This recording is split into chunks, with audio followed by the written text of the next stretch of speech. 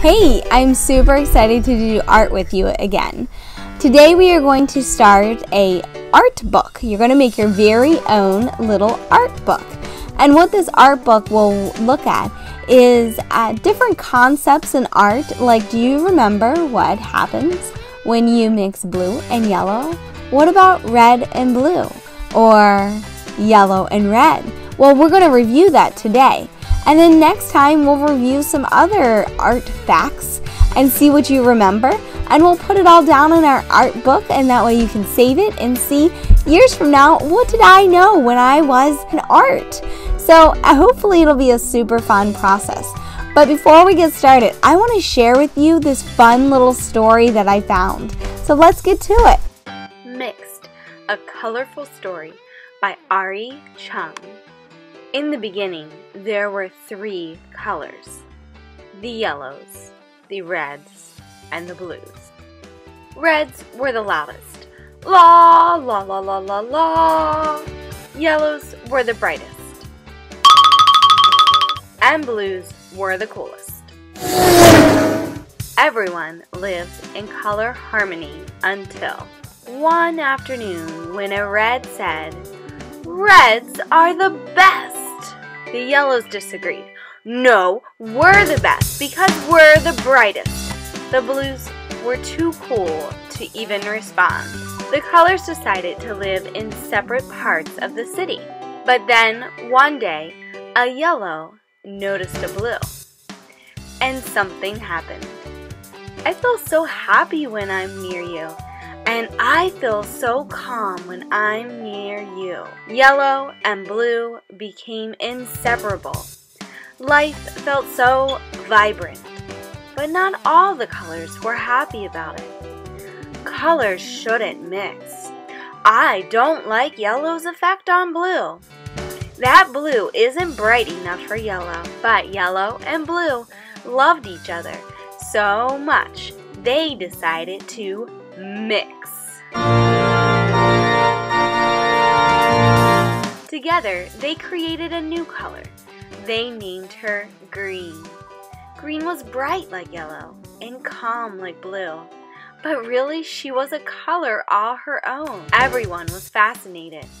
She's so cute. I've never seen anything like her before. Even the grumpy colors fell in love with green. Can I hold her? Soon, other colors mixed. The colors began to see new possibilities. Soon, other colors mixed. And mixed, and mixed, and mixed. There were so many new colors and a lot of new names. Don't forget your glasses, Lavender.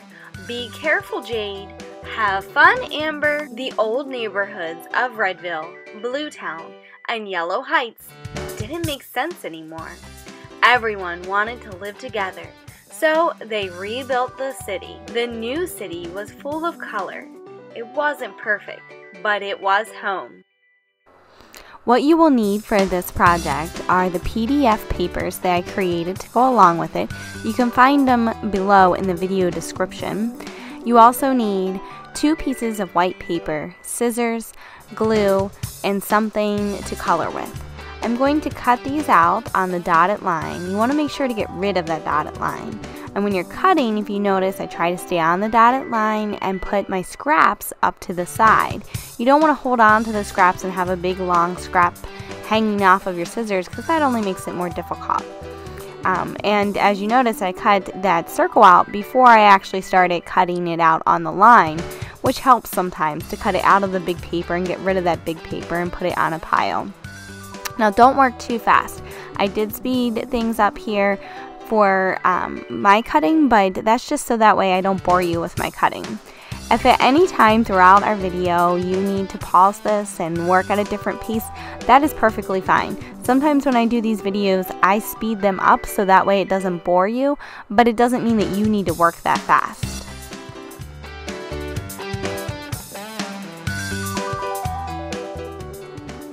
The first thing we will do is get our scraps out of the way.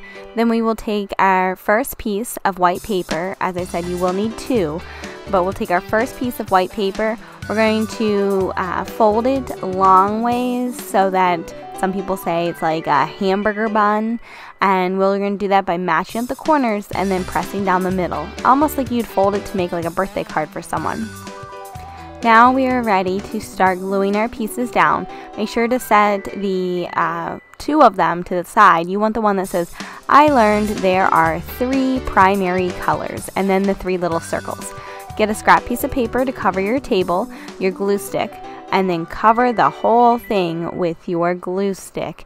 Make sure to get the edges really, really well, and then you're going to put that down on your paper and press it down. You want to make sure to press it down really good. Now, if you have a corner that's sticking up, like I have a corner that's sticking up there, you just pick it up and put a little bit of glue underneath and then push it back down.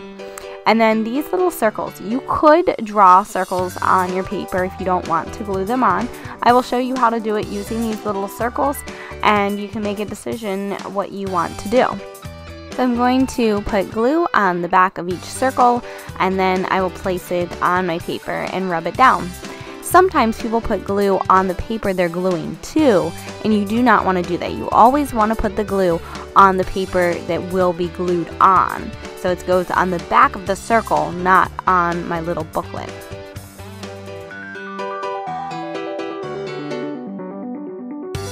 Now we could just color these circles in and call it a day, but that's not very fun. So I thought it would be more fun if we made our circles look a little bit like the circles in the story that I read.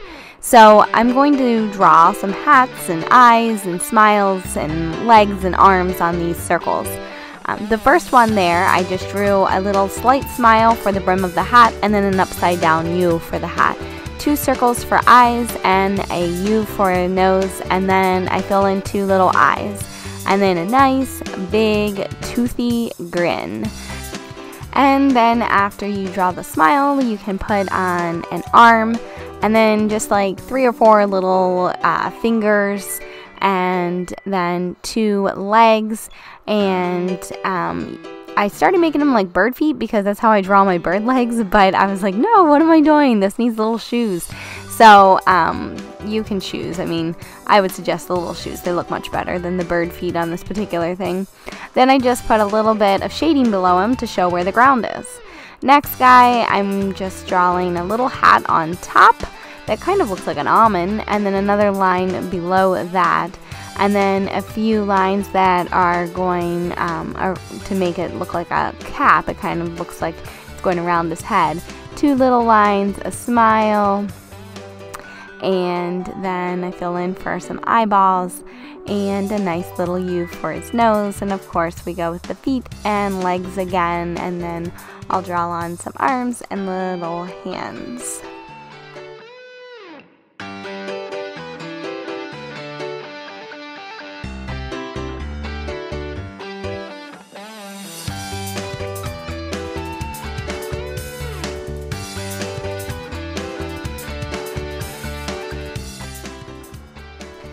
The last one, I'm going to draw a little bit more of like a small, taller hat. So a nice brim on that straight line. And then it goes up kind of like a little cowboy hat, but tiny. And then some lines going down and across it. Um, if you remember, they're vertical and horizontal lines.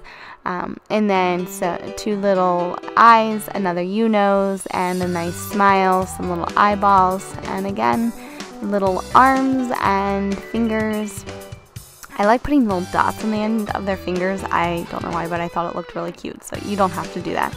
And then two little feet and a nice shadow below on the ground to show that he's standing there, and then another arm and fingers.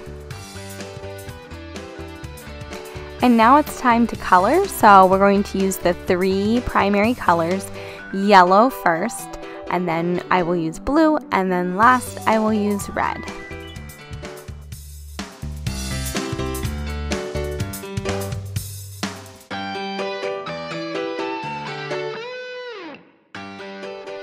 Now you have an option. Do you want to color your letters in? I'm going to color my letters in with the three primary colors, but obviously you do not have to, or you could use different colors. And you can also color your background. So all of these are different options that you can choose and make your project your very own creative creation. And now we're ready for our next page. So if you just open up that page, you see how there's like a back and a front. So essentially we're going to do our next page on the back of the area we just made our artwork. Remember, we're going to put this into a book later. So I want to make sure that you guys do this on the back of the page we just created. So grab that little sign and a glue stick.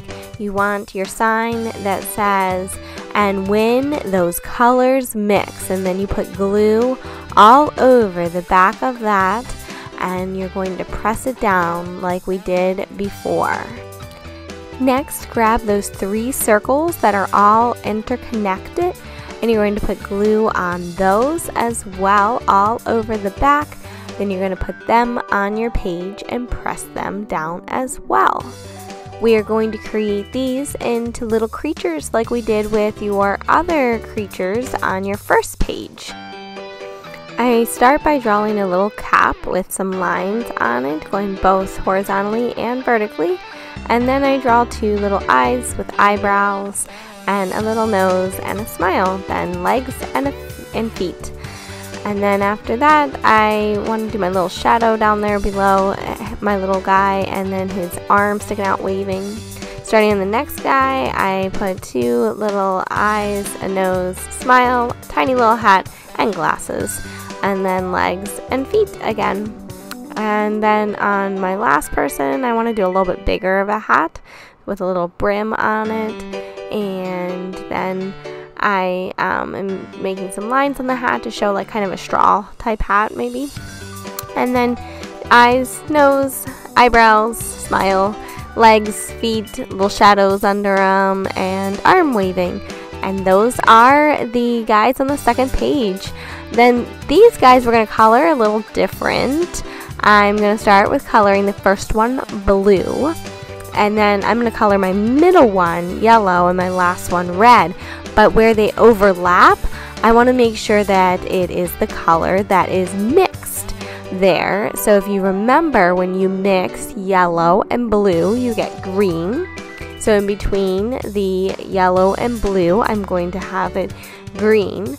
I'm using colored pencils, so it colored pencils will mix a little bit on their own. You notice I'm using the yellow colored pencil right over top of the blue and it's already looking green. So you can use colored pencils if you have them and they work really great. You won't get the same effect like that uh, with markers as well, but markers will still work great so you can still use them for this project or you could use crayons too. Whatever you have is great. Color those guys in so that you have um, one of them blue, one yellow, and one red. Now if you switch the order of them, that could switch what their middle color is because I don't know if you remember or not, but um, red and blue make purple. And if you notice, I don't have red next to blue here, so it will not make purple for me. So if you want purple in this mix, then you may want to switch the order of your guys. And remember, you can color the letters in, but instead of coloring my letters, I'm just going to get started on our last page. Remember, the last page will not go on that next page right there across from the fold. We will grab our second piece of paper, we will fold that by matching up the corners and making a hamburger fold. And then we are going to put this on the front of that paper like we did with our first page. In this page, hopefully you saved the one, there are three secondary colors is what we're going to put down here. So glue all over the back, rub it down real quick, and then we will get started with putting our three little circles on. Once again, if you did not like using the circles, you could always draw them on yourself. I just thought it might make life a little bit easier for you. You glue each circle on wherever you may like it on the page. Now we will start creating our last set of little creatures. I will start again by drawing a hat on the top one, just a little dome hat and a little line on it and I'm going to put a little flower out from it. All of these are optional things, a little brim on the hat, um, two eyes with eyeballs looking over at number three because I thought that'd be cool, a little nose, and a nice little smile. So any of these options that I'm drawing, you can or cannot draw them, whatever you feel like doing for your little creatures. I want my little guy reaching over to number three. And then for the next one, I am going to draw a sideways facing baseball cap. because um, I think that the secondary colors would think of themselves as cooler than the primary colors. So I want these guys to look really cool. And so draw some lines on there to show it looks like a baseball cap and then little eyes, nose, and mouth and um, arms and legs.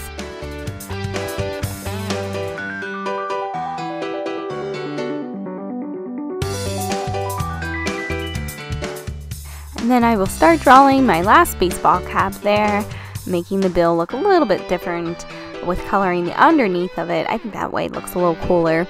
And then I will add a little bit of design to his hat.